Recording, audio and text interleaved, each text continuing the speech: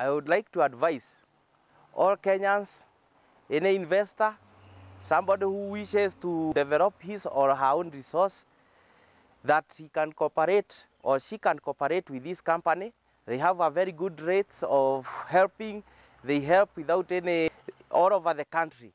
They don't choose who is that. You discuss with them. They give you even some advices on how you can invest, how you can build, what you can build, and it's a good company by which it has got a good, well professionals who knows about building, drilling, anything concerning construct uh, affordable housing. They are ready to help you. Thank you very much.